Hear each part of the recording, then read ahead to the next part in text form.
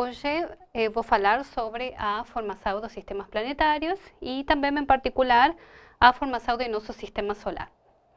Então, quando nós queremos eh, propor um sistema, um modelo para a formação e eh, para a formação do sistema solar de qualquer sistema físico, nós também temos esse modelo também tem que ter uma explicação para a evolução, ou seja, como esse sistema, neste caso o sistema solar, evoluiu desde sua formação até o que vemos hoje.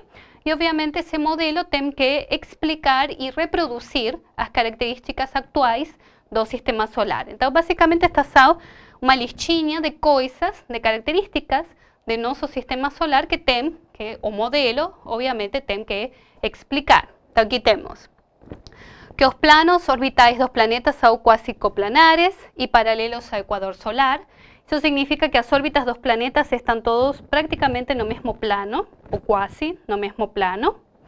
As órbitas dos planetas são quase circulares, eh, são elipses, mas muito, muito, eh, com uma excentricidade muito pequena, então são quase circulares.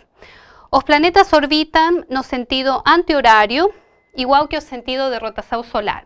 Então, nós temos uma rotação dos planetas em volta do Sol, e esse sentido, se nós olhamos desde o polo eh, norte solar, esse sentido é anti-horário. Então, todos os planetas orbitam o Sol nesse sentido anti-horário e o Sol gira sobre seu próprio eixo para o mesmo lado.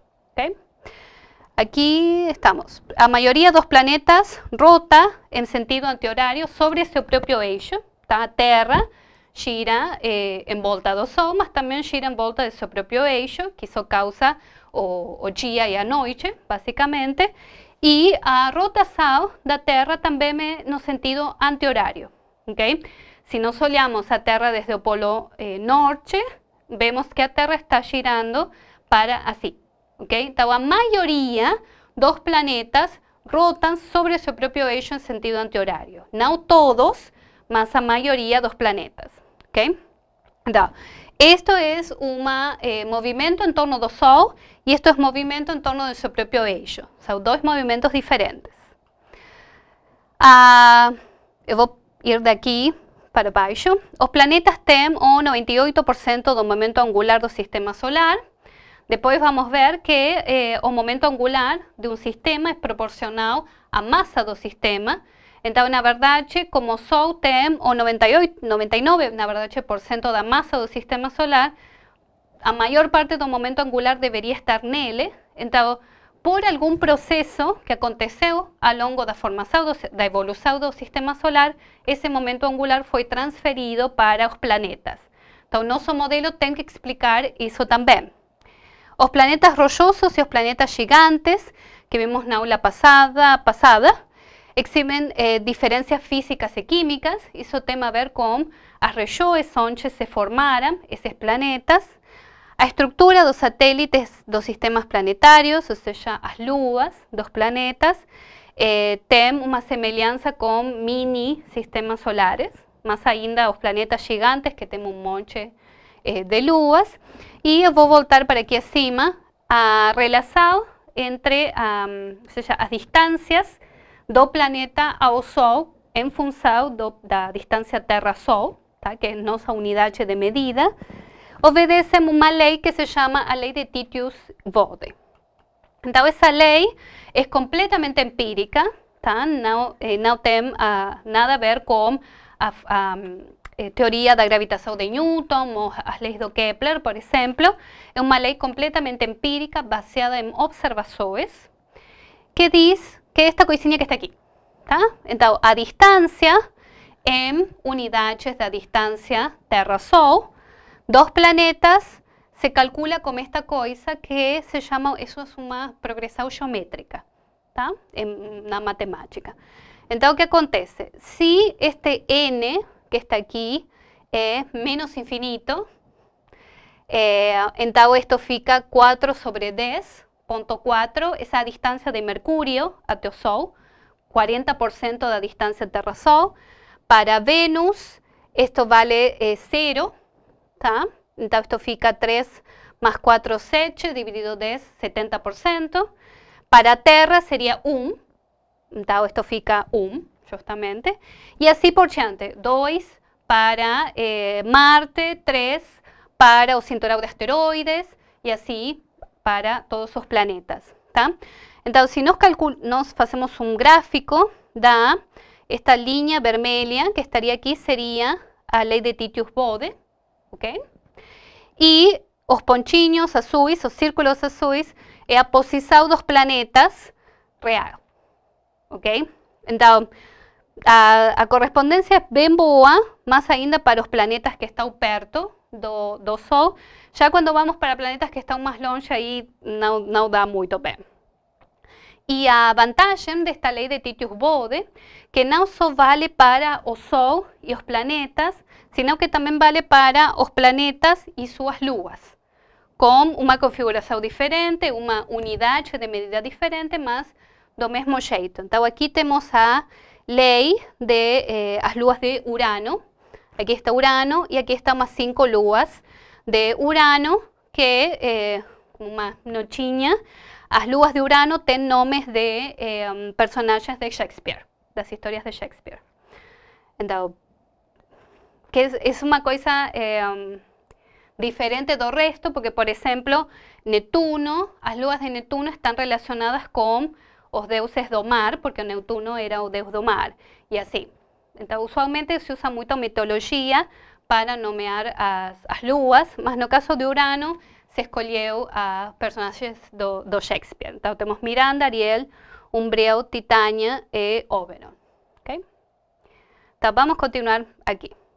Então, ao longo da história, quais foram as teorias propostas para a formação sistema eh, solar, em princípio? Okay? Então, temos basicamente estas, esta listinha. A primeira está baseada em modelos de turbulência.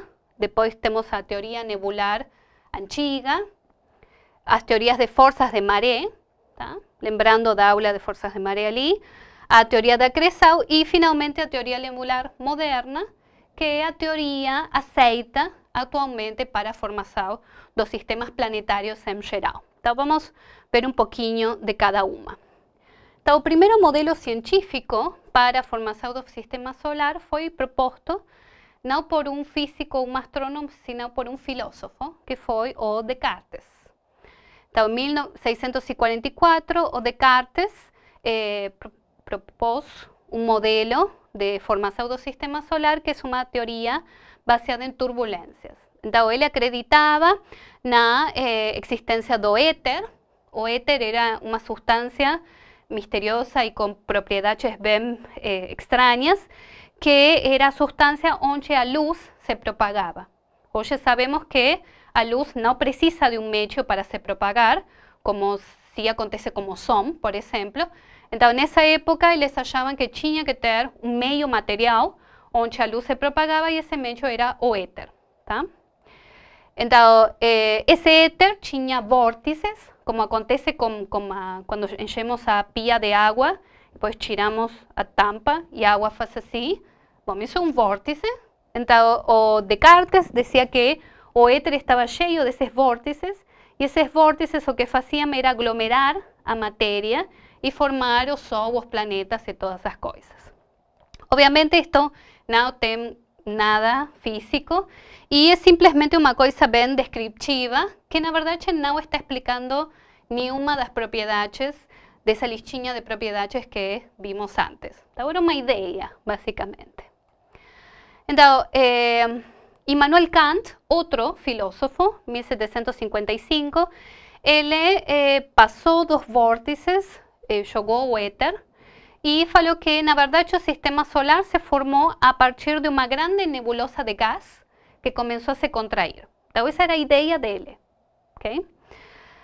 Eh, Laplace, Pierre-Simon de Laplace, eh, pegou essa ideia de Immanuel Kant y adicionó algunas cosas. Por ejemplo, a nebulosa comienza a se contrair pela gravidad propia, okay?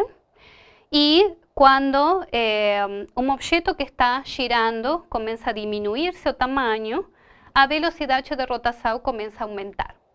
Nós llamamos eso de conservación do momento angular. Es el mismo efecto que acontece cuando a gente está numa, numa destas cadeiras que giram, ¿sí? Eh, si nos comenzamos a girar, primero con los brazos y las pernas extendidos, y después en algún momento hacemos así, vamos a comenzar a girar más rápido. Entonces pueden hacer a prueba porque es muy divertido también.